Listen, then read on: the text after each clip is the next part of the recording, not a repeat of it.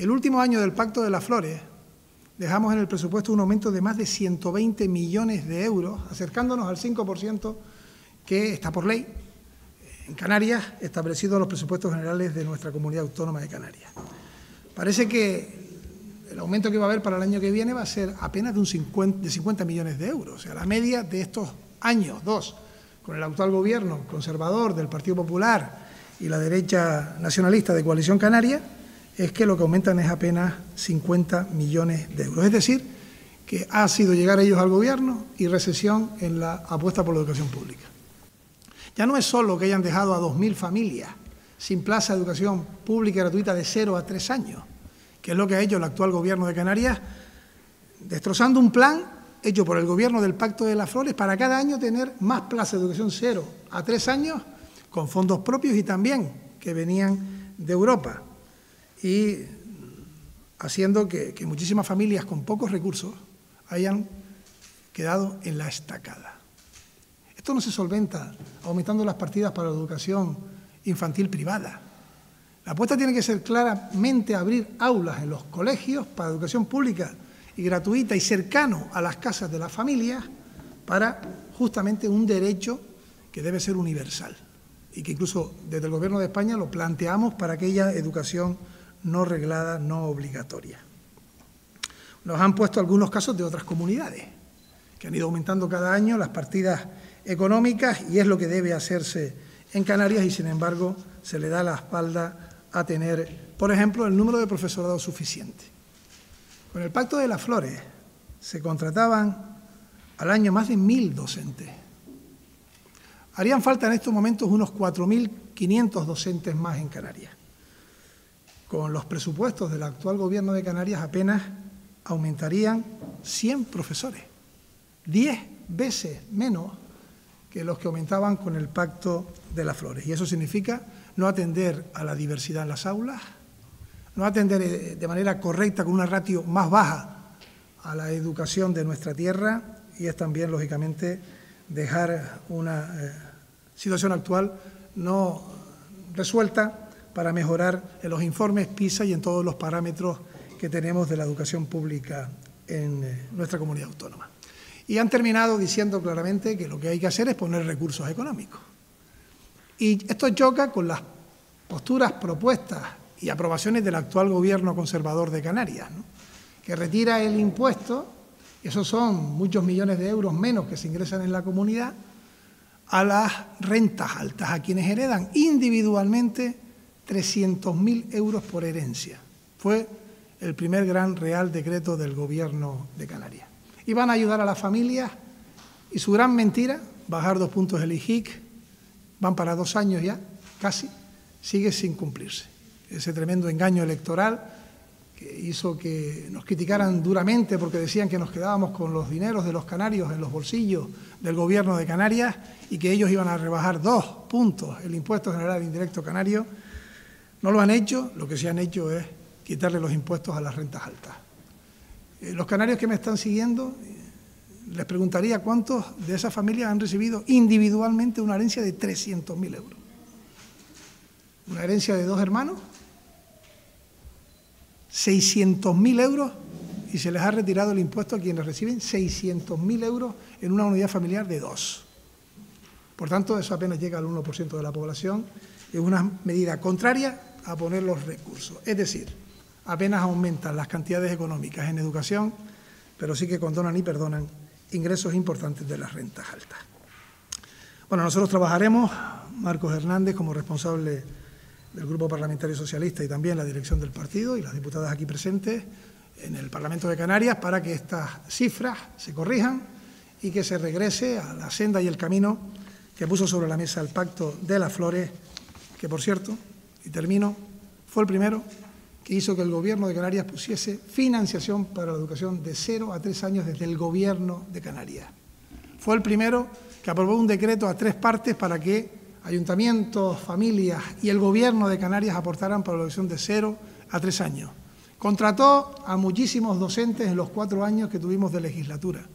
Apostamos claramente por la integración en los presupuestos de las cantidades adecuadas para uno de los cuatro grandes pilares del Estado del Bienestar, como es la educación pública. Y lamentamos este retroceso que pagan las familias y, lógicamente, aunque esto no tenga quizás los espacios en los medios que creo se merecen, tiene a la comunidad educativa eh, en estos momentos bastante enfadada, con propuestas de manifestaciones y también de movilizaciones, porque indudablemente estamos ante un evidente retroceso.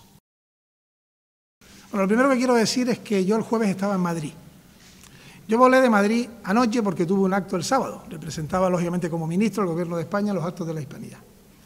Regresé anoche y he querido que hoy, aquí en Canarias, me pregunten los compañeros de los medios de Canarias sobre eh, las circunstancias que están en esos informes sobre nuestra comunidad autónoma. Pero también tengo que decir que el mismo jueves, el mismo, y tras las intervenciones de los presidentes se me requirió, se me preguntó al respecto y respondí. Y lo hice también con el primer informe de la, de la UCO. Lo hice incluso cuando fueron detenidos las personas, de manera inmediata intervine. Por tanto, quiero dejar bien claro, ahí están las hemerotecas, que siempre he dado las explicaciones al momento, cuando se me requería y dando siempre la cara, cosa que voy a hacer también en el día de hoy. Y empezaré diciendo que este informe de la, de la UCO se evacuó y fue conocido el pasado jueves, que tiene 236 páginas, es un atestado, que no sé si lo conoce, en el que se vuelcan todos los mensajes de distintos dispositivos móviles, correos electrónicos, que tienen que ver con las investigaciones a distintas empresas eh, que están en estos momentos en manos de la justicia. Bueno, si ustedes leen ese informe, se eh, hace alusión a conversaciones de decenas de personas, distintas comunidades autónomas, miembros de distintos escalafones, de distintos gobiernos, decenas de personas. En el caso de Canarias, ocupa que son unas 10 páginas, 13 páginas aproximadamente. Y ahí aparece el presidente de Canarias, como también ocurre con otros gobiernos autónomos, en los que se hace referencia también otras instituciones. Repito, decenas. Y ese informe tiene una eh, consideración final. Y me van a permitir que después de 236 páginas, lea exactamente lo que dice esa consideración final, sobre todo para quien no tiene el informe, porque esta parte yo no lo, he, no lo he visto reflejado en los medios. Creo que es bueno también que se sepa lo que culmina ese atestado trabajado durante meses por la Guardia Civil. Todo lo expuesto en el presente atestado ha de entenderse en términos de presunción y las conclusiones obtenidas como una consecuencia de la función que a esta unidad, como órgano de policía judicial, le es conferida por la ley para la averiguación acerca de las circunstancias de los hechos delictivos investigados y de sus posibles responsables, por los que quedan sometidos a la valoración judicial. La enumeración lógica de indicios expuestos hasta este momento ofrece una aproximación a los hechos en los que Ábalos adquiere un papel relevante y de responsabilidad en su relación directa con Coldo, Aldama y la organización criminal dinamizada por este último. Para profundizar en los mismos, se debería investigar qué relación tendría el exministro, está hablando de Ábalos, con la referida organización criminal y los hechos investigados, para lo cual se requeriría iniciar una investigación sobre esta persona actualmente aforada. Se permanece, por tanto, a la espera de que por la autoridad judicial competente se estime iniciar dichas indagaciones, indagaciones perdón, si así vuestra ilustrísima lo estima oportuno. Y para que coste, se extiende el presente informe que he firmado por los agentes a fecha de 8 de octubre de 2024. Y aparecen las firmas de distintos agentes, pueden ser 7, 8, 9, que son los que han estado durante meses haciendo este trabajo.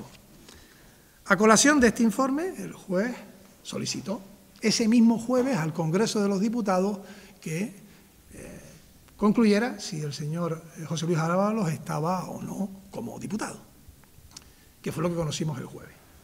Por tanto, la conclusión de este informe de 236 páginas es que del resto de las personas no solicita investigar absolutamente nada.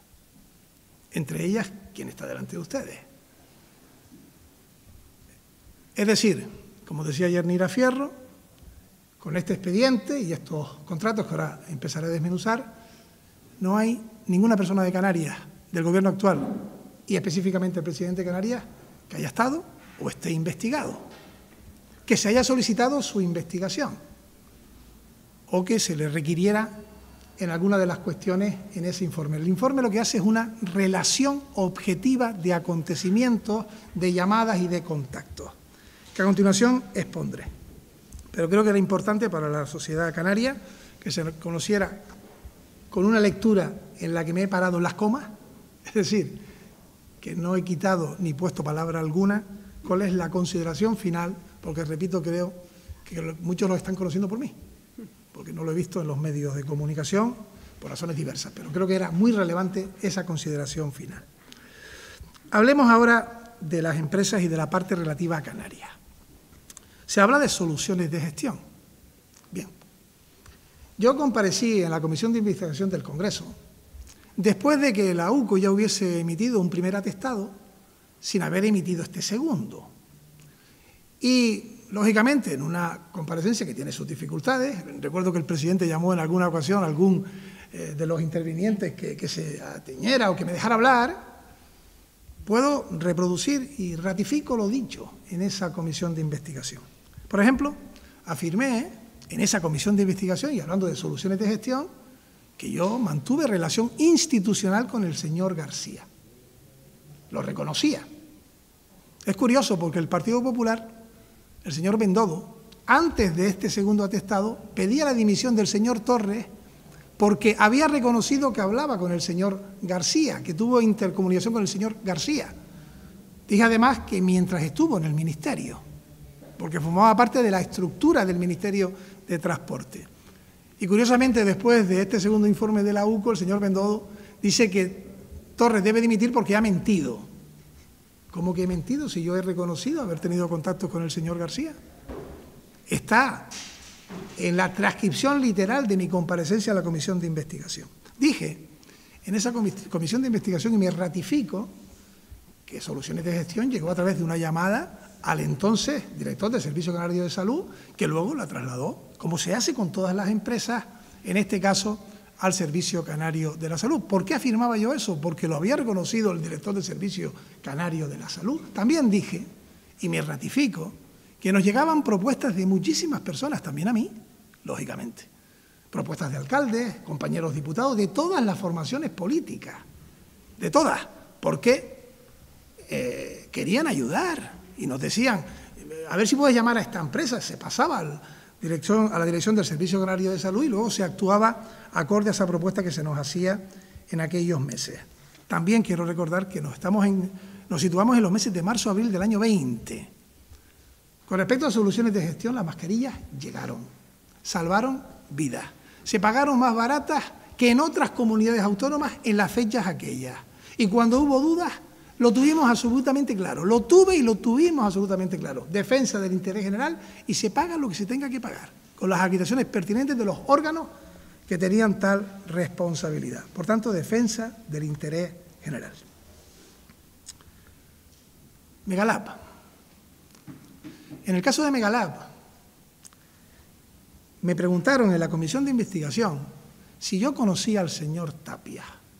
Y yo lo que dije, y quiero ser escrupuloso en mi intervención, repito, situándonos también en una comparecencia con preguntas en las que a veces no me dejaban responder, es que yo creía no conocer a este señor, no le ponía cara, que no me constaba conocerlo. Y es verdad, no le pongo cara. Y terminaba diciendo que en ningún caso, y lo vuelvo a repetir y me ratifico, el presidente de Canarias ordenó contratar o no contratar con una empresa. No hablaba el presidente de Canarias de contratar. Eso lo hacía, lógicamente, con los criterios técnicos y jurídicos del Servicio Canario de la Salud. Por tanto, me ratifico en lo dicho al respecto.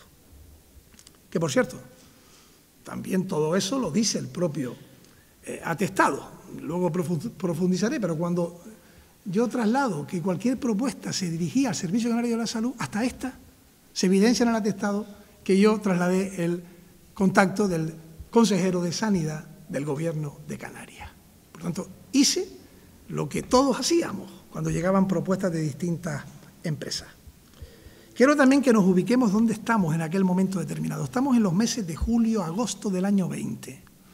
En aquel momento teníamos una presión importante para responder ante el fenómeno de la pérdida económica, Quiero recordar, por ejemplo, que con el Ministerio de Hacienda conseguimos un decreto ley para usar el superávit. Con los cabildos tuvimos que buscar mecanismos porque se rompían todos los presupuestos de ese año porque no teníamos ingresos de nuestro bloque de canarios de financiación. Y queríamos recuperar la economía. También las Islas Baleares, que dependemos del turismo, que somos las dos comunidades específicas de donde se entra fundamentalmente por avión. Y por tanto, en esos meses hablamos con el Ministerio de Transporte, con el Ministerio de Sanidad, lo acreditó el propio ministro, para ver los mecanismos para hacer vuelos seguros, Baleares y Canarias, en los meses de julio y agosto, para poder conseguir traer turistas. En ese atestado se traslada que hubo una petición de reunión en presidencia del Gobierno de Canarias. Le he pedido a mi equipo que me traslade si hubo alguna reunión en esos meses en presidencia del gobierno de Canarias. Me han dicho que no hubo ninguna reunión en presidencia del gobierno de Canarias. Debió haber un encuentro en el Parlamento de Canarias, en la que seguramente habría un pleno, y en la que me reuní con eh, personas que venían a hacer una propuesta, como hice con muchas otras, con muchas otras. Y en este sentido lo que hice fue trasladar esa propuesta al Servicio Canario de la Salud. Nos llegaron propuestas, por ejemplo, de utilizar salivas en los aeropuertos. Y la conocí. Colocar unos arcos para ver si esos arcos hacían más seguro la llegada de pasajeros. Veíamos si podíamos colocar los controles en la península o en Canarias. Todo eso lo hice. Yo me reuní con todas las empresas de transporte, junto a mi consejero de Canarias, para mantener la conectividad aérea ah, y también marítima. Y con muchas otras empresas que, lógicamente, al final, si tenían derecho a sus reclamaciones, eran los servicios jurídicos y técnicos los que terminaban de valorar, pero siempre con la voluntad de defender el interés general, sin ninguna duda. De hecho, tampoco se ha publicado. Una vez que se produjo esa reunión, que fue en el mes de agosto, y se le trasladó la misma al eh, consejero de Sanidad, no se contrató. No se contrató porque los vuelos seguros, que era lo que estábamos hablando, y además está publicado eso, con las Islas Baleares, con el Ministerio de Sanidad, con el Ministerio de Transporte, al final no fue posible. ¿Qué hizo Canarias? Es que no lo recuerdan. Canarias entonces caminó con su propia propuesta, que fueron los test de antígenos. Y lo trabajamos durante el verano. Y, y septiembre nos reunimos con los colectivos, es público y notorio. Y lo aprobamos por Consejo de Gobierno. En octubre y tuvimos un enfrentamiento con el gobierno de España porque no nos aceptaban un decreto ley convalidado por el Parlamento de Canarias y nos llevó al Tribunal Constitucional. Y el Tribunal Constitucional le dio la razón al gobierno de España. Y ante ese hecho, y ya nos encontramos en el mes de diciembre, ¿qué hicimos? Lo que hemos hecho siempre, en todo el tiempo que duró la pandemia. Intentar salvar vidas. Lo que hicimos, lo que hizo, y con un acierto tras una aprobación del Consejo de Gobierno, fue que se contratara hacer test a los residentes canarios en la península para que pudieran venir a nuestra tierra. Y quiero recordar que más de 100.000 canarios y canarias, y a ellos me dirijo, pudieron venir a Canarias a través de estos test de PCR, con una compañía que, por cierto, ha contratado con la Comunidad de Madrid, la Andaluza, instituciones canarias también, deportivas. Ahí está su amplia relación, es la que más tiene eh, distribución en el conjunto del, del país y pudieron esos decenas de miles de canarios, más de 100.000, estar con sus familias en la Navidad del año 20. Hay un informe interno de la Universidad de Las Palmas de Gran Canaria que dice que de no haberse hecho hubiésemos tenido decenas de muertos. Decenas de muertos. Por tanto, se hizo lo que se tenía que hacer, repito, defender el interés general. Y dicho esto,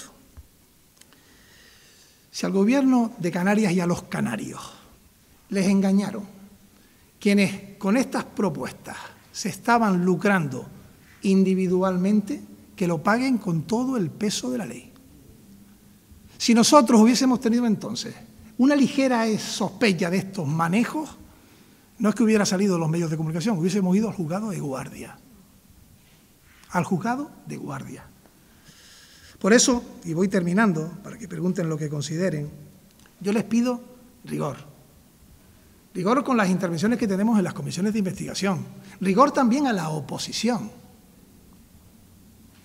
¿Cómo puede afirmar la oposición que quiere que demos explicaciones. Si se acaba de celebrar una comisión de investigación en Canarias, ha ido un señor que es asesor fiscal, le preguntan con una foto si conocen el Víctor Torres, dice ese señor que es la primera y única vez que me ha visto y casi se lo comen porque no dice lo que ellos esperan escuchar. ¿Quieren la verdad o el objetivo es mancillar la imagen de Ángel Víctor Torres? Termino diciendo que hicimos lo que teníamos que hacer. Y de volver una pandemia haríamos lo que hicimos, salvar vidas. Terminar siendo la comunidad canaria la que menos fallecidos tuvo, menos ingresos en UCI. Tomar todas las medidas necesarias para ayudar a los sanitarios, a los profesionales, a la sociedad de nuestra tierra. Y quienes ilegalmente se beneficiaron de ello, que lo paguen con todo el peso de la ley. Pero no se puede permitir que se siembre sombra sobre gente honrada y honesta. Que no he recibido llamadas estos días para dar explicaciones de algunas cosas que algunos han dicho. Que me alegra poder tenerlo hoy, aquí, en Canarias, con ustedes. Y responder a las cuestiones que quieran decir. Que somos seres humanos y nos podemos equivocar. Por supuesto que nos equivocamos. Pero el gobierno de Canarias hizo las cosas como tenía que hacerlas. Y si hubo gente desalmada, repito, que caiga todo el peso de la justicia sobre ellos. Colaboraremos con la justicia desde el primer día, desde el primer momento. Pero la justicia habla con estos atestados. Y ahí están las consideraciones finales después de estar analizando conversaciones y mensajes. Contextualicemos las cosas, preguntemos si tenemos dudas y a los partidos que hoy gobiernan en Canarias y estaban en, estaban en la oposición entonces. Hoy, el partido que ganó las elecciones, quien está en la oposición junto a otras formaciones políticas, le pido lealtad.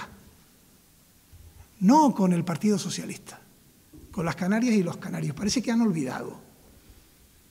Y yo lo reconocí porque fue justo que se colocaron al lado del gobierno aquellos meses, en marzo, abril, mayo, que nos apoyaron, por ejemplo, en no votar en contra del plan reactiva, que daban sus opiniones, que también nos suministraban nombres de empresas. ¿Qué pasaría si hoy alguna de esas empresas hubiese tenido en su estructura gente desalmada? ¿Sería culpa de quien hizo la propuesta? ¿Sería culpa de quien la recibió? Por tanto, dejemos caminar a la justicia, colaboraremos y colaboremos con ella nos prejudicialicemos, hagamos juicios paralelos,